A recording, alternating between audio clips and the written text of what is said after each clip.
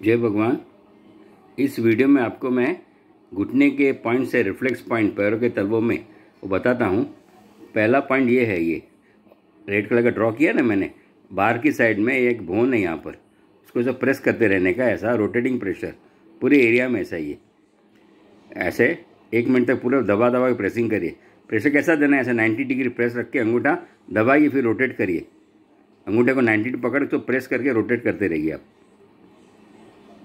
एक मिनट तक पूरे एरिया में करते रहिए आप अलग अलग एरिया में। ये दोनों पैरों में है ये, जो मैं पॉइंट बता रहा हूँ आपको, वो दोनों पैरों में है।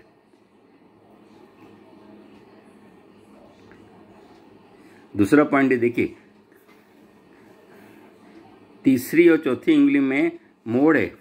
फ़र्स्ट मोड़ फ़र्स्ट बेंड देखो, तीन मोड़ है। एक बेस में है, एक इधर है।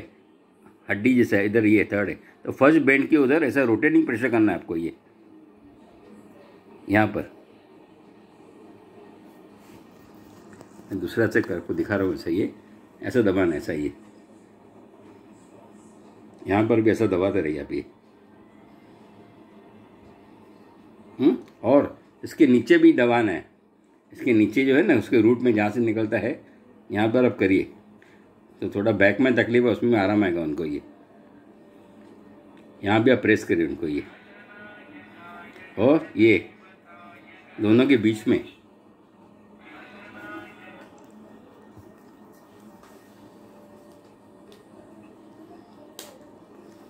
और दोनों के बीच में ये लाइन ड्रॉ किया मैंने। यहाँ भी करिए, यहाँ भी प्रेशर दीजिए। यहाँ भी से रोटेटिंग प्रेशर दीजिए, यहाँ भी करिए। एक खाचा है ना बीच में, वहाँ भी दबाइए। और दूसरा मेन पॉइंट है रीढ़ की हड्डी का पॉइंट मैंने मीडियम बताया, मैंने देखो पैर के साइड में, अंदर की साइड है पूरा। नाखून के रूट से लेके कमर की लाइन सैटी का लाइन इतना बड़ा है। इसको अब थम वॉकिंग करिए। तो उनको पूरा करेंगे ना, उनको गर्दन की तकलीफ़ होगी, कमर सब में उसको आराम मिलेगा। देखिए थम वॉकिंग प्रेशर में कर रहा हूँ।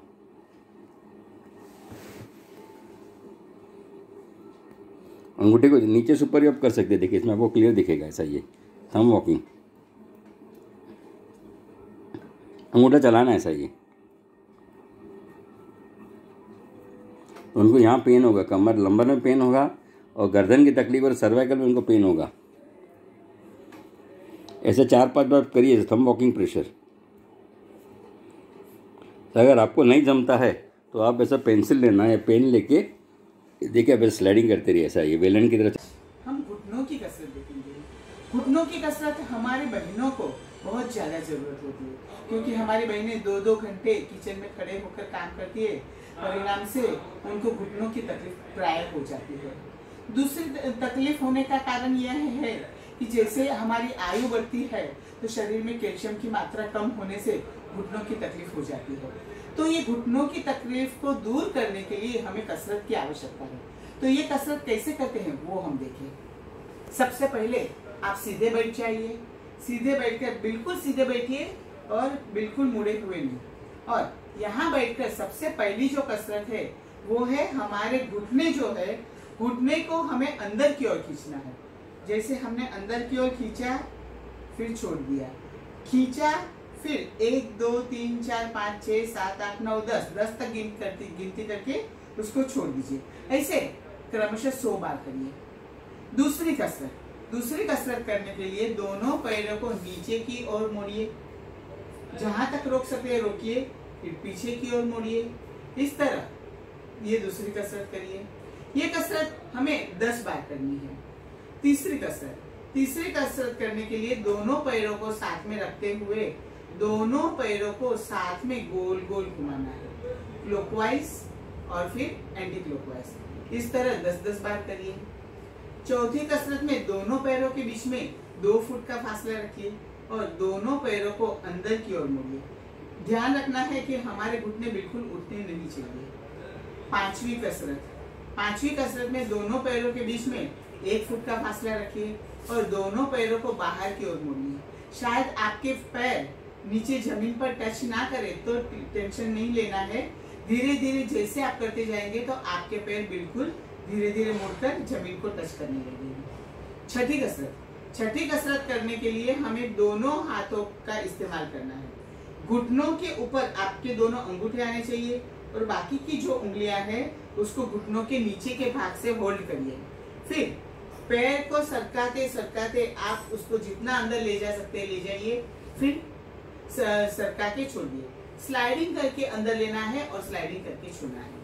इस तरह इस कसरत को करना है ये सारी कसरत हमें 10 बार से शुरुआत करनी है और फिर हर एक वीक में हमें उसे 10-10 बार और बढ़ाना है इस तरह घुटनों की कसरत करके हम इसका फायदा ले सकते हैं जय भगवान યોગવાળા બેને બતાવેલી એમને ડૉક્ટરે એવું કીધું હતું કે તમારા ગોઠણને નીટ ટ્રાન્સપ્લાન્ટ એટલે કે ગોઠણ બદલાવવા પડશે તો એમને એક મહિનો આ કસરત કરી અને ડૉક્ટરને બતાવવા ગયા ત્યારે ડૉક્ટર કીધું કે તમે નહીં તમારા કોઈ બેન હશે તો કે હું જ છું ગોઠણ એટલા સાજા થાય આ કસરત નિયમિત રીતે સવારે સાત વાગે છ વાગે રોજ એક જ ટાઈમે એકવાર છ વાગે ને એકવાર નવ વાગે એમને ચાલે રોજ એક ટાઈમ નક્કી કરજો પંદર વીસ મિનિટ કાઢો એના માટે પંદર મિનિટ કાઢો બંને હાથ ગોઠણ ઉપર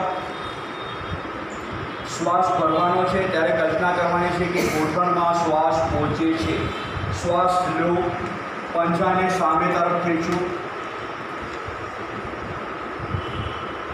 જલ્દી છોડ દો ફરીથી દસ સેકન્ડ વીસ સેકન્ડ ત્રીસ સેકન્ડ જેટલી સેકન્ડ થાય એટલી સેકન્ડ રાખવાનું આવું ત્રણ વખત પછી પગને લૂઝ છોડ દો શ્વાસ ભરવાના પંજાને ખેંચવાના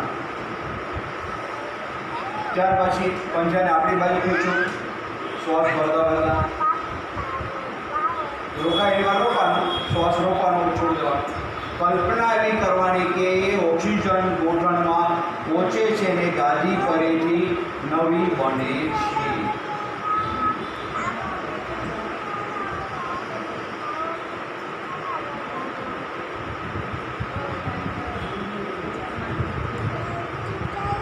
ત્યાર પછી બાજુમાં હાથ રાખો બાજુમાં હાથ આ રીતે આ પોઝિશનમાં હિપને અડીને પંજાને આપણી બાજુ ખેંચવાના છે શ્વાસ ભરતા ભરતા છોડ દો ફરીથી દસ સેકન્ડ વીસ સેકન્ડ ત્રીસ સેકન્ડ રોકાય એવા રોકવાનું ક્ષમતા મુજબ છોડ દેવાનું રિલેક્સ થઈ જવાનું ફરી આવું ત્રણ વખત અને લાસ્ટ છેલ્લાની અંદર પાછળ હાથ લઈ જવાના જેટલા જાય એટલા આ પોઝિશનમાં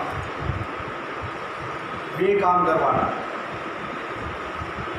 હાથ પાછળ પંજાને સામેની સાઈડ ને ડોકને પાછળની સાઈડ શ્વાસ ભરતા ભરતા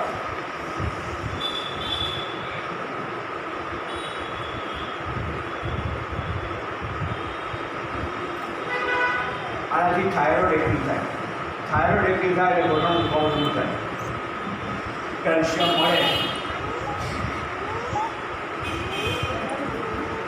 આવું ત્રણ વખત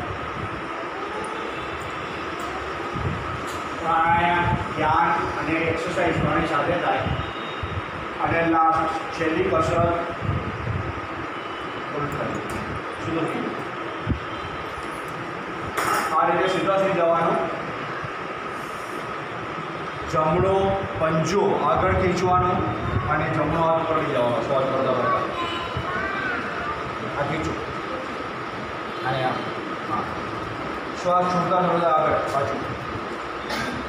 ટૂંકમાં ખેંચાણ આપવાનું માથું નીચે હવે આપો ચાલો ચાલો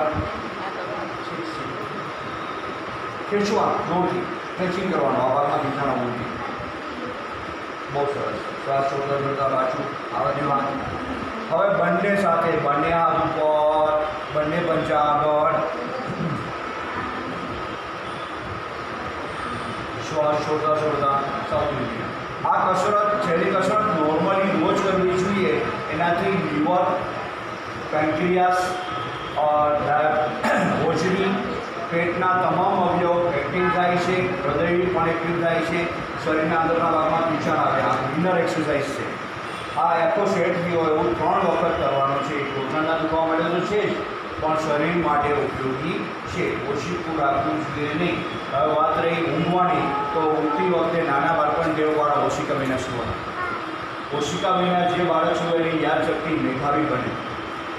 ઓશિકાને એવું જ્ઞાન પરથી પાડવાની એમને સુવા એટલે મોટો ફાયદો થાય ઓછીકું મળે, ન મળે ગમતો ઓછીકું કાંઈ પ્રોબ્લેમ નથી જે લોકોને માથાની યાદ રાખવાની એવું હોય ભૂલી જાય હવે ડાબી બાજુ કરો ડાબ સાઈડ. ડાબી બાજુ ફરીને બોલો. થઈ આવો બહાર હા એક વાર મોટો સીધા ચાલો, એક મેજિક પોઈન્ટ બતાવી દો